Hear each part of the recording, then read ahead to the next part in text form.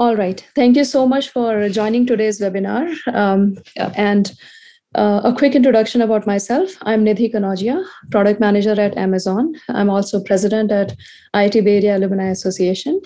And um, basically, I've been in um, industry for more than 15 years, been product manager pretty much uh, all my work life, and uh, worked on multiple different products over the years ranging from hardware to software, and most recently working on the security product line right now. And um, being part of multiple different organizations from you know big corporate to small companies to a startup, and being part of multiple different product life cycles as well. So um, a lot of experience comes from there from the product perspective and uh, a lot of my experience also comes in from a nonprofit work as well. So as I mentioned that I'm president at IIT Bay Area Alumni, and there is um, a lot of learning um, of driving decisions and um, how do you get things done, right? And how do you do things the right way? So there's a lot of learning that comes from there as well. So today's topic of influencing with rationale basically touches upon soft skills of being a PM or anyone who is um, trying to reach to an outcome for their project or work right? And it is one of a big part of um, product managers work. So definitely it's the topic is very relevant to um, how do you influence with rationale.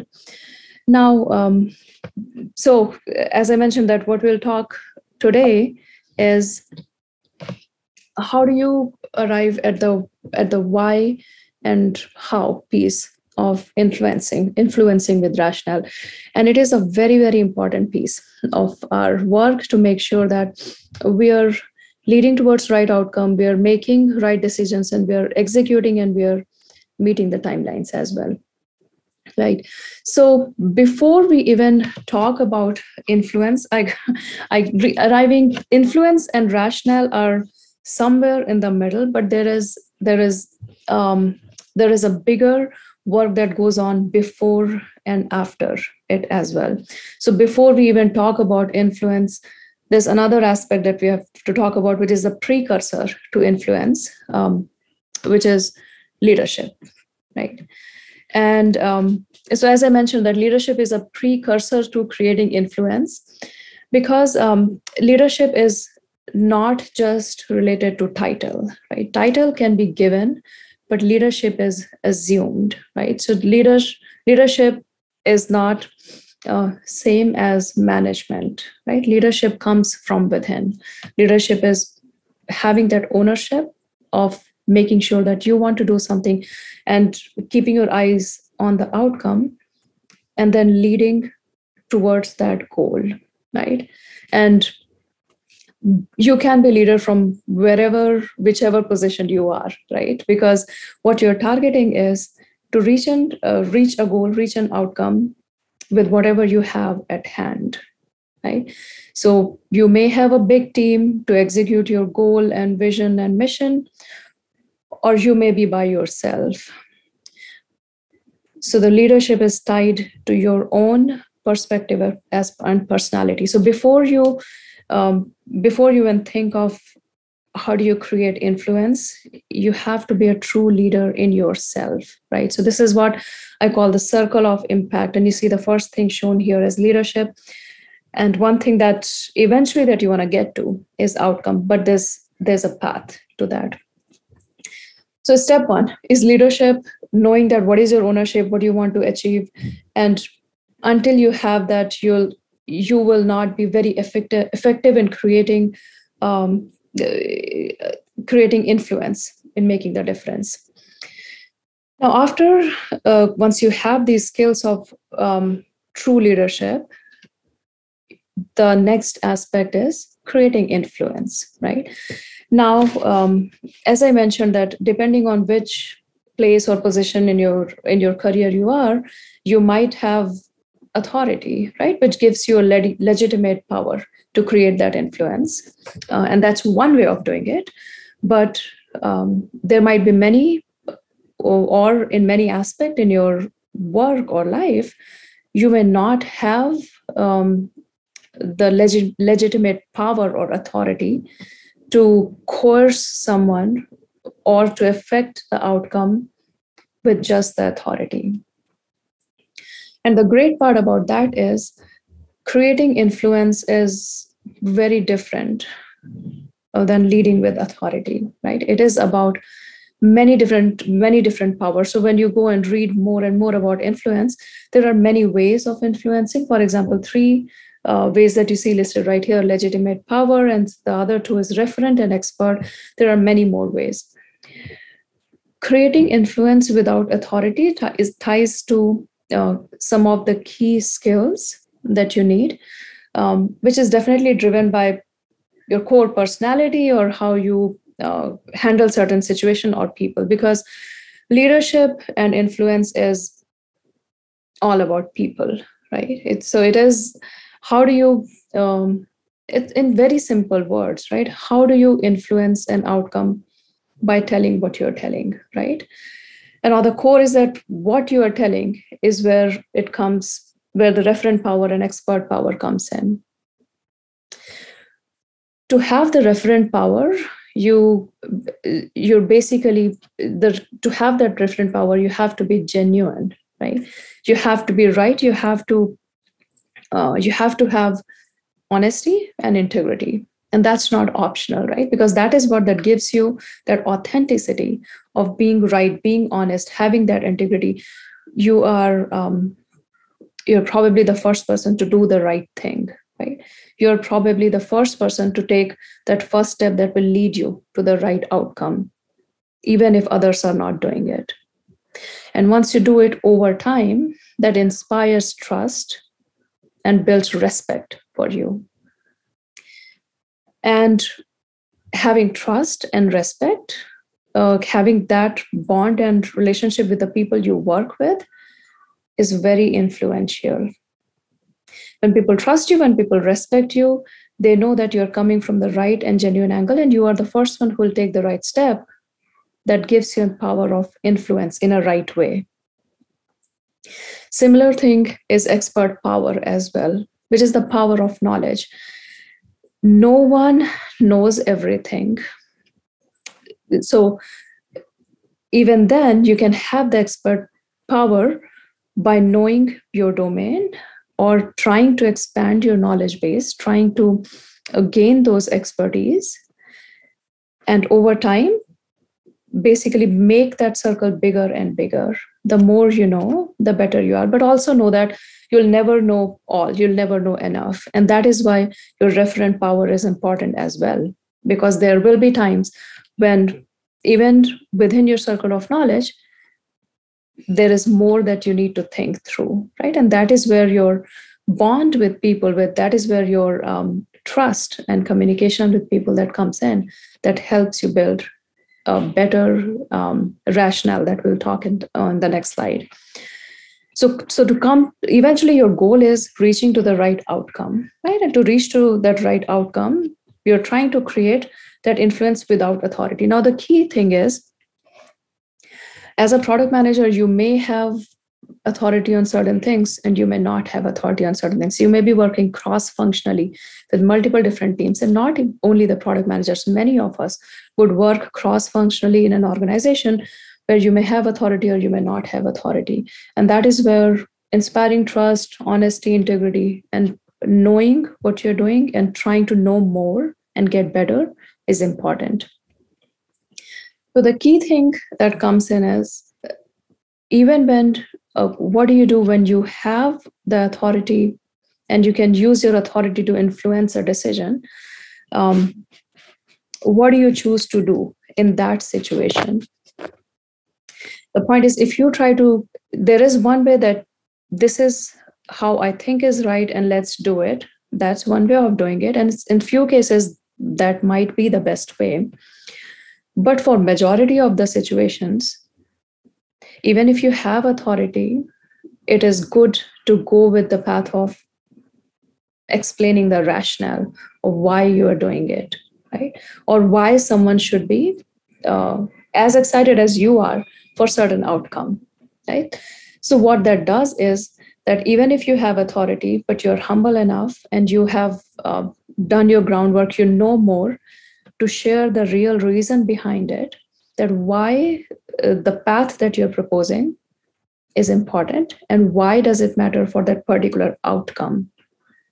The moment you tie back your um, your logic to the outcome, that's when it becomes important. In the process, what you do is that you learn more about the domain, you learn more about the people that you're working with, you learn more about their style of work, and you still come across as humble. And once you explain the rationale and the other person agrees with you, first thing is you create a bond with them, right? That they are more open to uh, in, you're basically more open to influence from you, right? In a in a positive way. And also you give them a reason to think through. You create that ownership and leadership within them. So now whatever action they're taking, whether they're going above and beyond, they're not doing it for you, for the leadership. They're doing it because they believe in it. That is why influencing with authority is one way, but influencing without authority, even if you have, even if you are in the place of legitimate power, doing things with rationale and telling the reason why and why it affects that exact outcome that the whole team is trying to achieve is way better than going with just from the place of authority. Now, coming down to rationale. So, um, when you choose to influence uh, when you choose to follow the path of influencing without authority you have to really really think through the rationale and outcome and how these two relate to each other.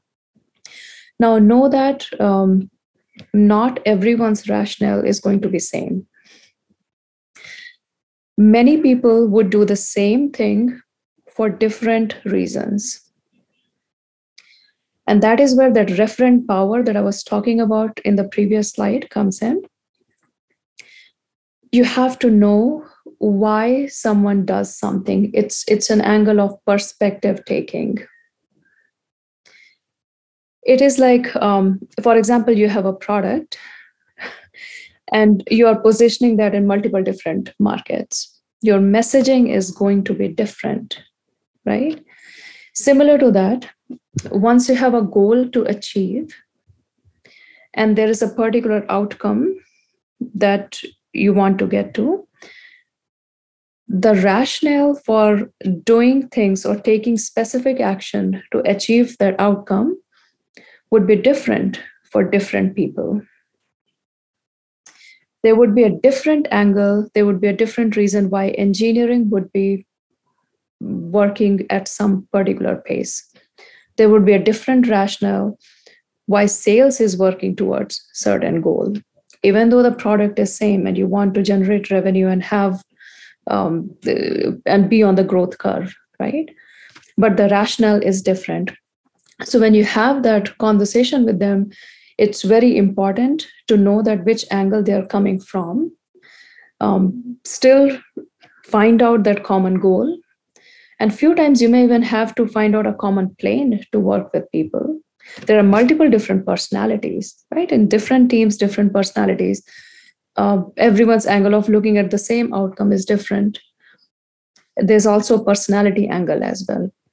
Not everyone may respond to the same approach. So once you're, when you are thinking of in what language or in what angle I explain the rationale, think about perspective taking. Think about what is that particular person or that particular team response to what matters to them. And then when you give your message in the words that matter to them that relate more to them rather than having a conversation in a way where you're talking from your angle and you're telling what matters to you and expecting them to respond to the things that matter to you. That may not work as fast and efficient versus you taking the perspective and thinking what matters to that particular team and then explaining the things explaining the rationale from that particular angle. After all this even if you you have that drive and passion and ownership um, you're working on building that influence and making that bigger circle of doing things the right way and you're working on the rationale. It is still very very important how you communicate your rationale. So again as i mentioned perspective taking is a very very uh, important thing. Also there are some unwritten rules right? Uh, many times in many of the conversation in product management you will come across situations where uh, something is a right or it the right can be done in many ways right now which way which path you take or which particular conversation will become easy by uh, following one certain approach there are certain unwritten rules. For example some some person may respond better if you talk to them one on one some person may respond better if there is more consensus across team and that's how they take their um, that's how they finalize their approach right? Some person may be very very data driven and that's their approach to agreeing with you. So it is important to be generally aware of what is um, what are those unwritten rules? How does the team dynamic work right? And before you even try to create your plan of um, how does uh, how do i make sure that i reach the right outcome? And how do you build that influence without just using the power of authority? You have to think through those things before before you communicate. So even if you build your rationale know that it is it is important how it is communicated to everyone. And of course reiterate the approach right? Because many things um, you would do it one time you would follow one certain approach and then it may not work right? Or over the time you may improvise that. For example hey when i tried to solve this problem and i've been trying to solve this um, problem and trying to come to a decision if i get sales marketing and product management everyone in the same room um, it just becomes um, a lengthy conversation and we never arrive to a decision quickly so reiterate that approach and follow a different approach. Is it better to give them heads up in a short summary? Is it better to have one on one conversations with people ahead of time? And reiterate that approach and see that what works better over time right but eventually the goal is the outcome so in this overall process of when you're trying to communicate you're you have the passion you have the leadership skills and you're trying to create that influence to reach to a certain outcome that is the only constant in this. Your outcome is constant and your drive to reach to that outcome is constant. But other than that creating the influence following multiple ways of creating that influence thinking through the rationale in multiple different ways and communicating them appropriately those are all your moving pieces that you can fit and make it a part of this puzzle and reach to the eventual outcome. And this is why it is very important as a product manager or even beyond that you think through how you're communicating, how you're building rationale, how you're trying to create that influence, even if you may, may or may not have authority to drive those conversations, right? So, this was a very quick overview of how do we think um, to lead to a certain outcome? Thank you so much for listening and i'm i hope this was useful. Thank you